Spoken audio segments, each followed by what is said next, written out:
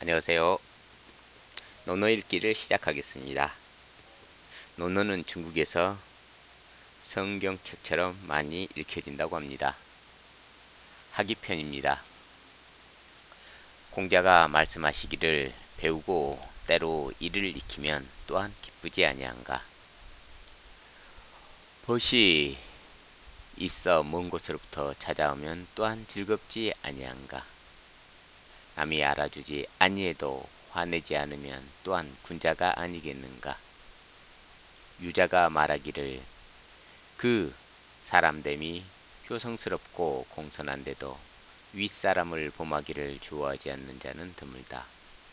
윗사람 범하기를 좋아하지 않고서도 난을 일으키기를 좋아하는 자가 있지 않다. 군자는 근본을 힘쓸 것이니 근본이 서면 도가 생길 것이다. 효도와 공손이라는 것은 그 어짐을 행하는 근본인 것이다. 공자께서 말씀하시기를 말을 교모하게 하며 얼굴빛을 좋게 하니 어진 마음이 드물다.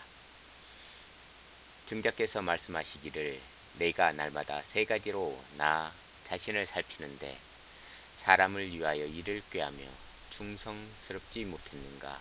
친구와 사귀어 믿음직하지 못했는가? 배운 것을 익히지 못했는가라고 했다. 공자께서 말씀하시기를 전승의 나라를 다스리려면 이를 공경하고 믿음으로 하며 쓰기를 절제하고 사람을 사랑하며 백성을 부림에 때를 맞춰야 한다고 했다.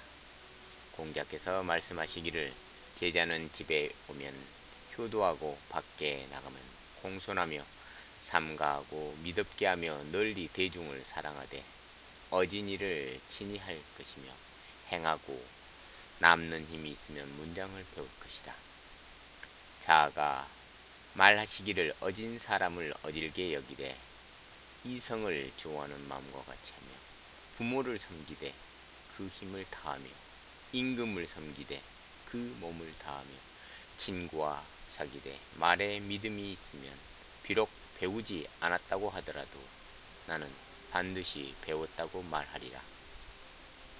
공자께서 말씀하시기를 군자가 몸가짐이 무겁지 않으면 위험이 없을 것이니 배워도 확고하지 못할 것이다. 충성과 믿음을 주로 하며 자기보다 못한 사람을 버타지 말며 허물이 있으면 고치기를 꺼리지 말라. 증자께서 말씀하시기를 장례를 정성껏 하고 제사를 정성껏 지내면 백성의 덕이 두터워질 것이다. 자금이 자공에게 묻기를 공자 선생님께서 방문하시는 나라마다 반드시 정사에 관하여 제후들로부터 이야기를 들으셨는데 스스로 먼저 자청하신 것입니까? 아니면 제후들의 정치 자문에 관하여 답변하신 겁니까?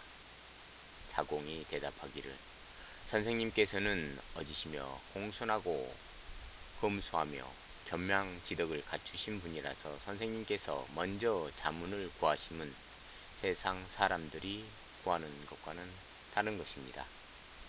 공자께서 말씀하시기를 아버지가 살아 계시면 그 뜻을 보고 아버지가 돌아가시면 그 행신을 볼 것이로되 3년 동안 아버지의 도를 고치지 말아야 효도라고 말할 수 있다.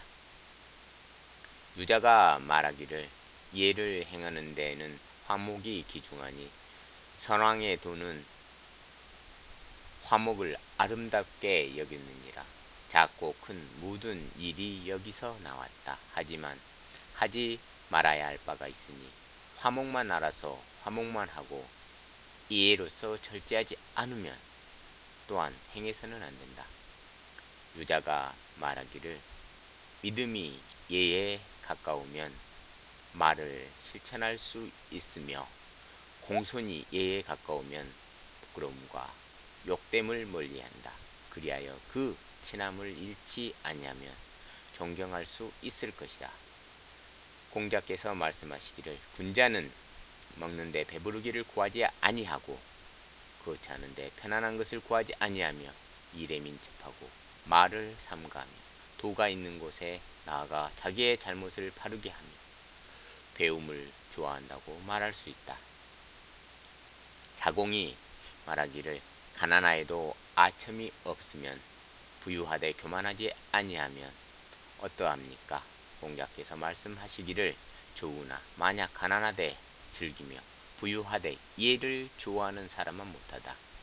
자공이 말하기를 시경에 이르되 깎은 듯 다듬은 듯하고 쪼은 듯 간 듯한다고 하였으니 아마도 이를 두고 이른 말일 것입니까?